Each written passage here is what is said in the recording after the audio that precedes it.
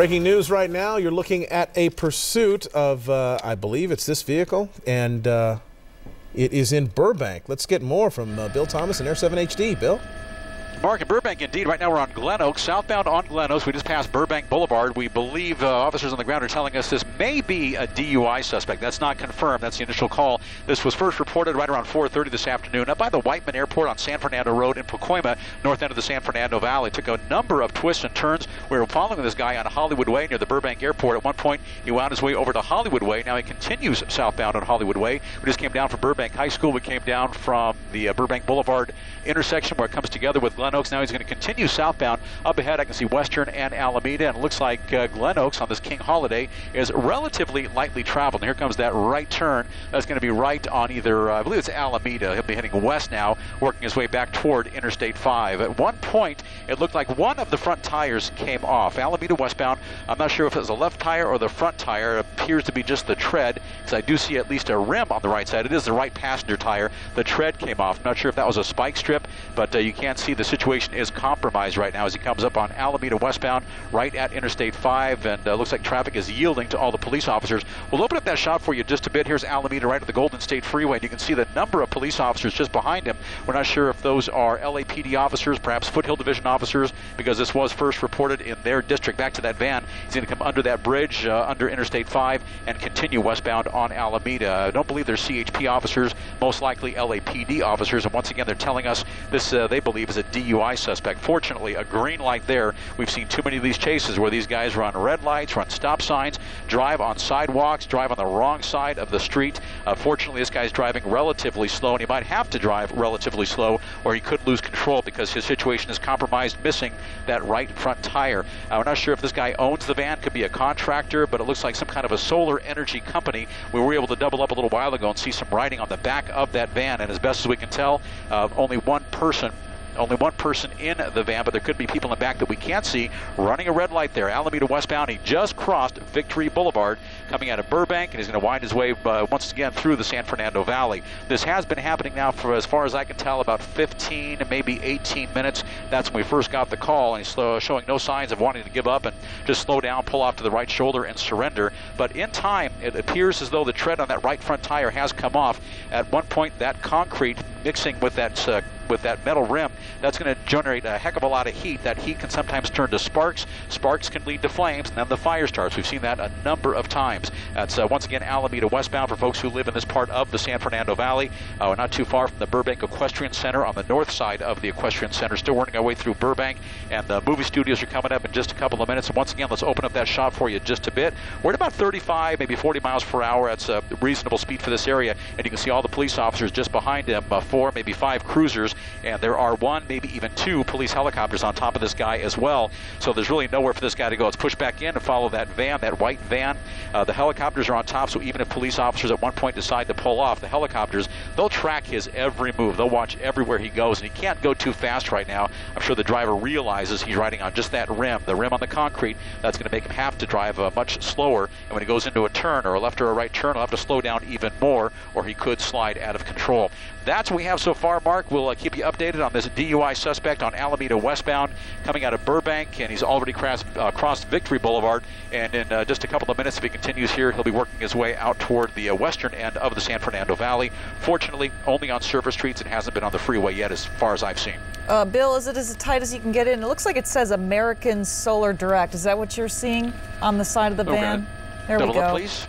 Um, yeah, I believe that is American Solar Direct, some kind of a solar energy company, and he has made made that right turn onto uh, North Buena Vista, Buena Vista northbound from Alameda, and it looks like he might be making a bit of a loop here. This is a guy who perhaps works in the area, perhaps lives in the area. This is a place he's been just a few short minutes ago. He was on Hollywood Way at one point, on Buena Vista at another point. He's traveled a lot of major surface streets in the San Fernando Valley. Fortunately, when he came down Glen Oaks, right by the Burbank High School, it's a holiday, so uh, school was clearly out today. Traffic is lighter than it would be uh, this time of the day uh, during a normal workday, but with the holiday, there's much less traffic.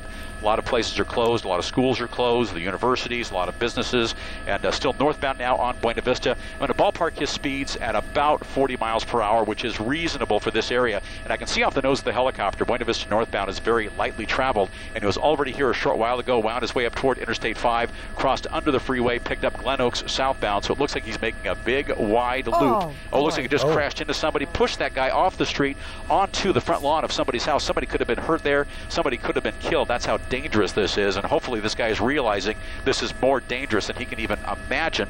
A horrible crash right there. If someone had been on the he's sidewalk, slowing down this could now have been too. It looks like he might have damaged his uh, vehicle there badly enough that he can't uh, continue to drive it. Uh, the Even got the hazard lights came on, as you can see. and it looks like maybe the engine is stopped. Uh, he's uh, he's slowing down and stopping right now. The pursuit may be over very shortly. Let's uh, keep an eye on this. Again, this is a, a work van being driven uh, that is uh, owned by um, apparently American Solar Direct. That's the writing on the side of it. Uh, they have corporate offices in uh, on Wilshire Boulevard in Los Angeles and uh, a number of regional offices scattered throughout Southern California, including San Diego. Not sure where this person is working out of, but uh, somebody's, uh, for some reason, he's gone and gone off on this pursuit. Yeah. We are where right now? What is our location, uh, Bill? We're in Burbank once again on Buena Vista northbound. This is northbound Buena Vista, not far from Burbank Boulevard. You saw this pursuit playing out the last several minutes. Uh, Just north of Verdugo on Buena Vista. That'll be in the San Fernando Valley. Those look like LAPD Foothill Division officers. This guy was showing no signs of slowing down. An accident just happened. He plowed into somebody. Whoever he hit pushed them onto the sidewalk, over the sidewalk, onto the front lawn in somebody's house. It's unclear if anyone was hurt there, but this guy either stopped on his own or the impact so severe that it actually caused that engine to fail. Now, police officers on the ground. Let's open up the shot for you just a bit. You'll see the driver in the car there on the top left, and then these police officers just behind him. They are giving him very loud and verbal commands, and if necessary, in more than one language. Try to get that guy to simply throw the keys out the window, give it up, call it a day, and wrap this thing up. But so far, he doesn't appear to be complying with commands of police officers. You can see them. They've got their guns drawn, handguns, shotguns, and a variety of other weapons, and they're ready for any possible contingency. But you can see this is a residential area, kind of a mixed use area, Buena Vista near Verdugo. A number of residents here, some businesses up and down Buena Vista as well. The last thing you want to see, an exchange of gunfire. They want to end this peacefully. They want to end this calmly. No one wants to get hurt, but police officers have to be prepared for anything. He's not coming out of the van yet. We don't know if there's anybody else inside the van, but LAPD officers, they're going to wait this guy out. They'll be as patient as they can and try to wrap that up. And again, that's on Buena Vista northbound, right by Verdugo, right in the middle of the San Fernando Valley, Mark. All right, as we uh, watch this, um, what we hope will be an arrest unfold, I'm wondering if we can take a look in the, perhaps we can do a split screen where we can see here we are uh, where this accident occurred just moments ago, where he hit that car from behind. This was uh, just before he finally uh, stopped his vehicle. We're not sure if the van was disabled or if he finally decided to just stop, maybe being in shock from hitting a car, or if the vehicle's Okay, let's look to the left here. It looks like he's coming out. So let's go full screen now on that and just watch this. It looks like he's giving up here. This is good to see. Uh, they're giving him orders to uh, step out, and as always, as we have seen, they try to have them face away from the officers. They're going to have him back up towards them, and uh, eventually they'll have him lay out on the ground, spread his arms and legs out, so that they can then effect the arrest. And it looks like one single male who was inside the vehicle. You do see the airbag deployed there. This thing may have Oh, just it the, the, just the force of the impact may have disabled it enough that he couldn't go any further.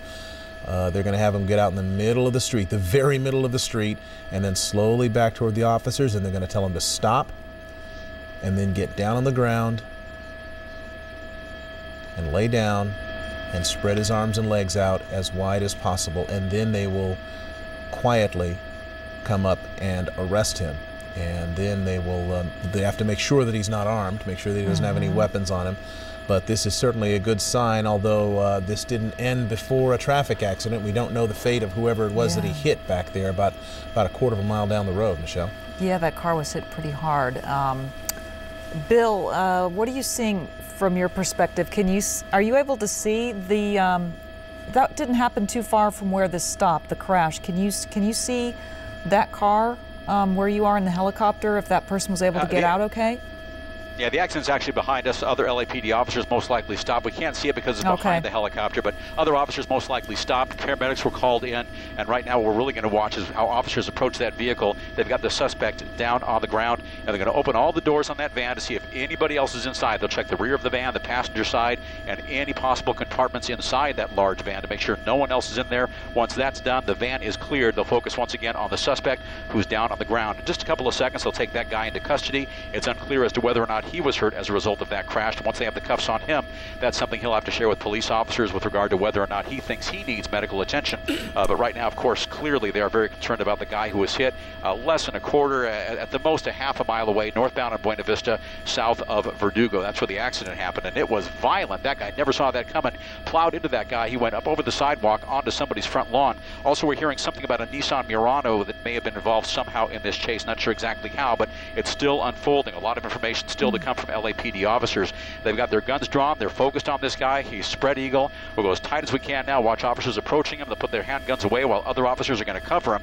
Hands behind his back. They'll get the cuffs on. And fortunately, this pursuit all wrapped up. Unfortunately, it's one of those pursuits, and this is why they're always so dangerous. An innocent person could have gotten seriously hurt today. We'll have to wait for paramedics and LAPD officers to find out how seriously uh, the other person was hurt in that car that this guy plowed into. But this guy's described as a possible DUI suspect. LAPD officers chasing this guy for just under a half an hour. Started up in the north end of the San Fernando Valley, uh, Pacoima area near the Whiteman Airport on San Fernando Road. Wound his way around the entire San Fernando Valley, mostly in the Burbank area, close to Glendale as well. And then that accident happened on Buena Vista northbound, right by Verdugo. He's in cuffs. This one's all wrapped up. You've got that full closure here on Buena Vista in the San Fernando Valley, and traffic until this is all wrapped up will have to be rerouted around this. But only one person in that van, the driver, and clearly Mark and Michelle. He's in custody now. He is indeed. It was a work truck uh, owned by a company called American Solar Direct. Unclear if this is an employee of the company or someone who was just driving the van for some other reason. But uh, this has come to an end with an accident, at least one, and uh, unknown about uh, any sorts of injuries to the person that he hit just a few minutes ago. But there you see on the right, that's uh, that violent collision that sent that car up onto someone's lawn on uh, Okay. Buena Vista, northbound Buena Vista, just north of Verdugo, which is where this uh, whole pursuit ended. But it has ended with no further injury, no exchange of gunfire, and peacefully, at least at this Uh, point. Burbank is moving us, Jay. Okay, Bill Thomas, thank you very much uh, for your coverage of this police pursuit. We're going to move on to other news and some uh, health They news. pushed us all to the south. Actually, we are not going to do that. We're going to be right back with more.